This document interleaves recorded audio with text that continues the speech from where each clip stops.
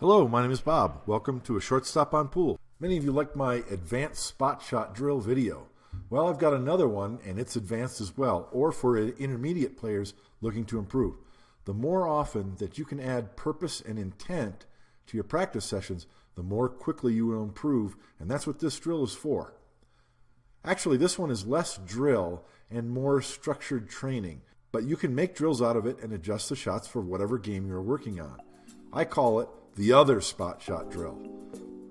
The spot shot drill had you make the same spot shot while positioning the cue ball around the table.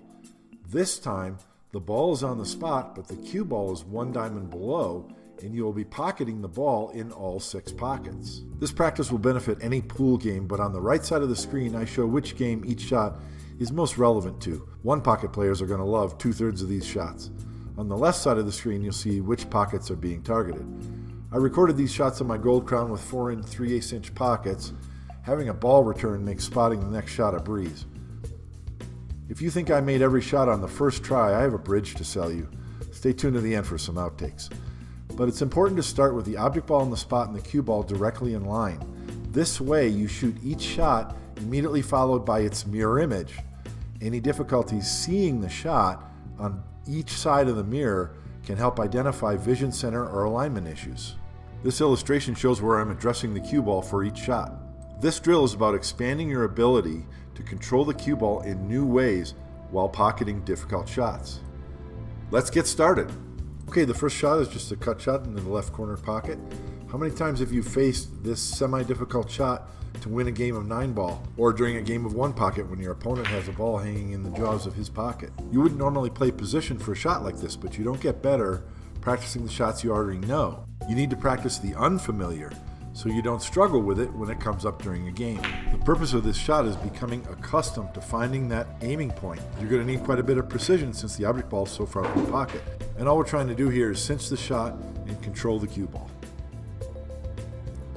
Shot number two is a very similar stroke, but we're aiming a little higher on the cue ball to bring the cue ball towards center table for a shot on a ball that's down table.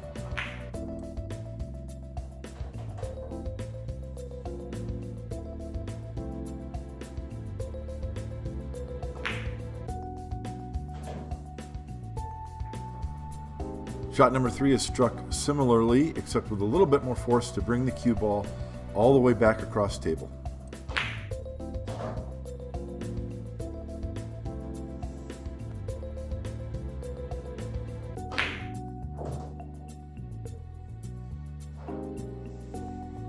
Shot number four is a straight follow shot, but you're learning just how high to hit the cue ball so that you don't scratch in the side pocket. And where does the cue ball go? Should go near to the center of the far short rail.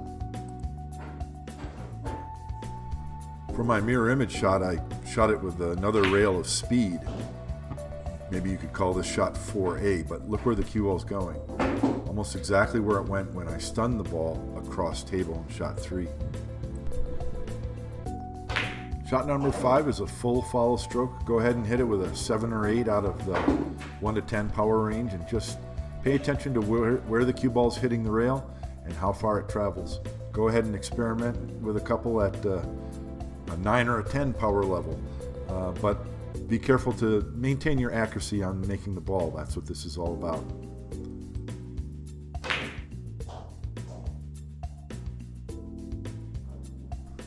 For shot number six, we'll bring the cue tip back down below center. We want to stun the cue ball all the way across table.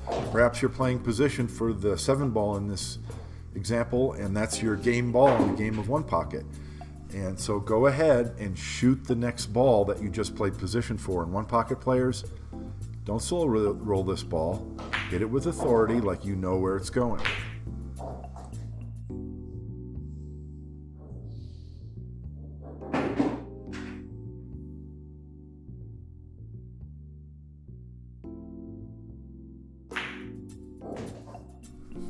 After you become more comfortable with this shot and its mirror, move the object ball farther down the rail. See if you don't prefer stunning the cue ball straight across or coming two rails as in this example.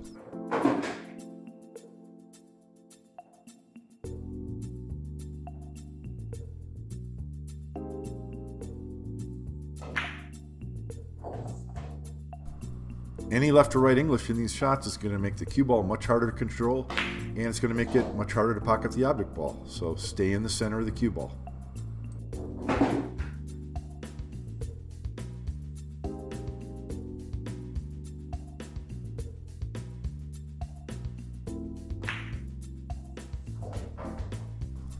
Shot number seven I call a dead weight hold. This is especially relevant to one pocket players.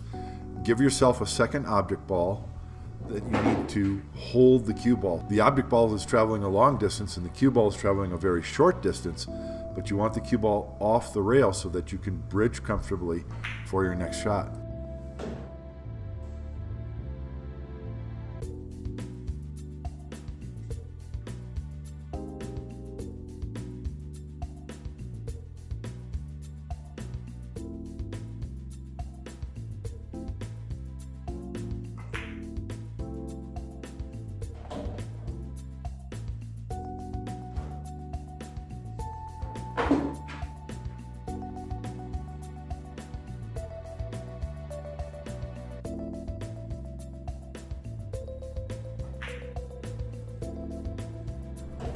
The final shot for the far corner pockets, you get to let your stroke out. This is similar to shot number three. You're doing a Z pattern across the table, but give yourself a target ball all the way on the bottom rail. One pocket players are going to love this shot. We've seen uh, good players like Tony Chohan pull this type of shot off quite often. You could actually spend an entire practice session playing the cue ball to different portions of the table over near that corner pocket, depending on where you place your target object ball. For shot number nine, we're moving on to the side pockets, and this is similar to shot one. We're just trying to make the ball, just cinch the ball. And if you haven't tried this before, you're going to be surprised at how thinly you can cut the ball while holding the cue ball below the side pocket. And you can hit it very softly, striking very low on the cue ball. No left or right spin. And if that shot surprised you, you're going to love learning that you can hit with a very high cue ball and go on the other side of the side pocket.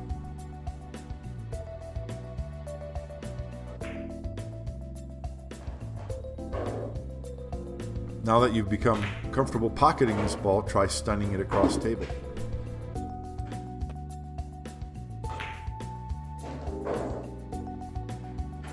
Shot number 10, struck with a little bit more force, will bring the cue ball all the way back down table past the side pocket and you don't need any side English to do this just a smooth center ball way at the top of the cue ball.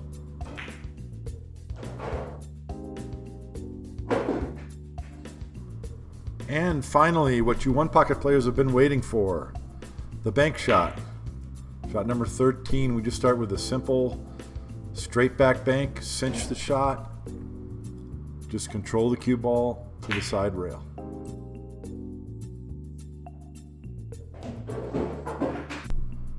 Next is a smooth follow shot. You want the cue ball to finish as close to the opposite rail as possible.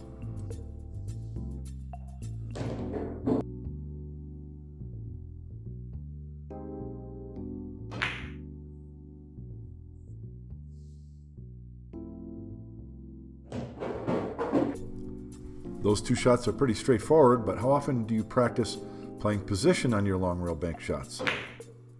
Here I want position on the 7 for a follow-up shot in my pocket.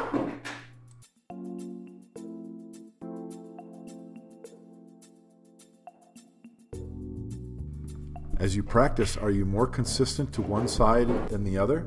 You might want to check your stance and alignment. Be sure that your setup is aligned with the aiming point on the bank shot before you get down in the shot. Drawing to short side position is common in one pocket. Don't wait for the game situation to practice these crucial shots.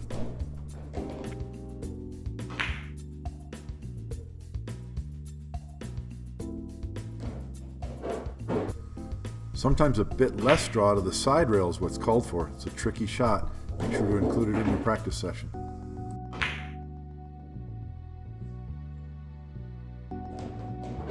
In one pocket, we're often banking a ball with lag speed just to the pocket, but your game's going to benefit if you practice stroking the ball in playing position for balls at various locations back into your pocket. Shot number 18 is considered a very aggressive one pocket shot, but if you have a clear path to the pocket and you've practiced this shot a lot, this can be the difference between getting one ball and getting a bunch.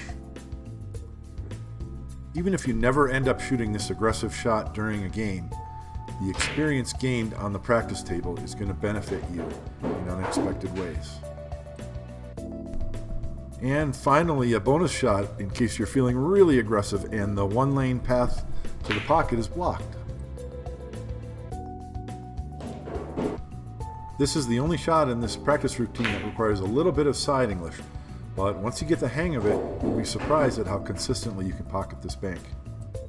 Did you think that this practice drill was a bit too much? I find your lack of faith disturbing. This practice routine can't be that difficult after all. The object ball and the cue ball are in the same position for every single shot. And yet there are 18 different shots with variations and the mirror image for each shot. For me, that's the testament to how beautiful and intricate the game of pool is. Now imagine if you vary the starting position of the object ball and the cue ball and try the same shots. I think that demonstrates how valuable this type of structured practice session is as opposed to just randomly shooting balls. And with every single shot except for the bonus shot, the cue tip never left the vertical axis of the cue ball. If you're like me, you'll notice that as you struggle through the challenge of attempting to control the cue ball in different ways from the same initial shot setup, it's going to occur to you that you haven't missed pocketing the ball in a while. Your pocketing percentage is going to go up. You might think that you'll never shoot some of these shots in a game, but you might surprise yourself. And even if you don't, it's by challenging yourself to do more that you learn and grow. And it's by making mistakes within a structured format that you're able to analyze why the mistake happened, adjust your approach, and then start having more success. And that's what this drill does. In a moment, you're going to get to laugh at some of my mistakes. Good luck. I hope you found that informative, entertaining, and helpful. If you did, please hit the subscribe button and give me a thumbs up. Head over to SatoriFlatRack.com and check out the promo video for my new and unique pool ball rack. And of course, shortstoponpool.com for my book, A Shortstop on Straight Pool. Thank you for watching. We'll see you next time at Shortstop on Pool.